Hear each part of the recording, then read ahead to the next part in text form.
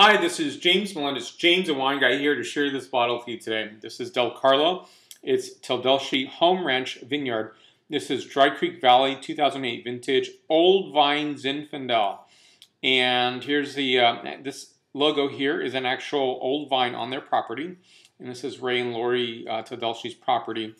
Beautiful, beautiful piece of um, uh, vineyard land. And Old Vines is a major part of this vineyard, and it's absolutely gorgeous. Now, when you're there and you see Old Vine, you you know, I, I'm not necessarily skeptical, but I, I think sometimes, oh, I don't know what that really means, but now I know what it means. I mean, I've seen pictures, I've seen it from a distance, and I've seen it up close.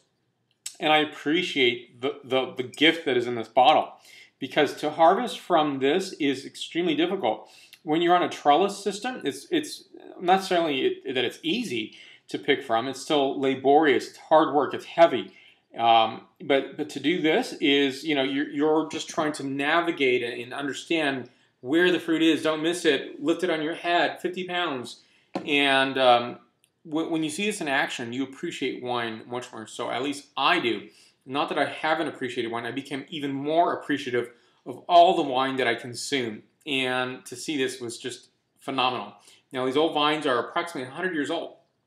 And I think that that is a, a true testament to Zinfandel. Zinfandel has survived prohibition, survived the downturn in uh, this country's history, in the U.S.'s history, and is able to produce some phenomenal wines, phenomenal fruit. And what I found is an event called Blog the Harvest, and I was there in Dry Creek.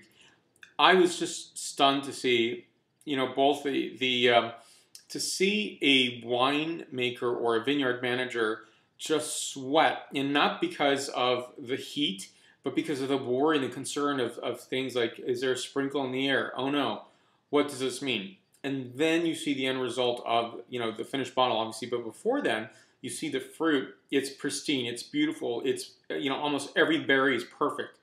And that is how I came to just re-love winemaking again and re-love and, and just absolutely stunned and excited about it. So, if you ever get the chance to be in a wine country and doing, you know, having any chance to see um, picking and harvesting of grapes, I, I, definitely recommend that because you will walk away differently, in my opinion. I did.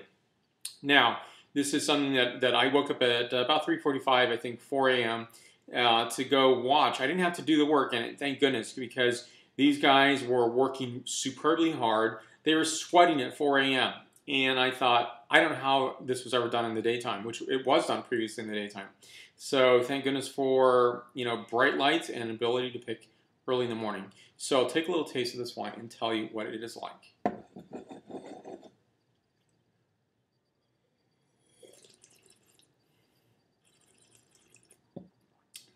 Beautiful wine, beautiful fruit.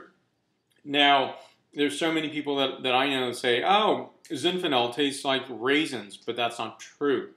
If you taste a well-crafted bottle, those raisins are picked out because ultimately a raisin is a raisin is a raisin. It doesn't matter where it comes from. It could come from a Cabernet Sauvignon, Shiraz, or Zinfandel, and it's going to really color that wine in a way that's just raisin oriented.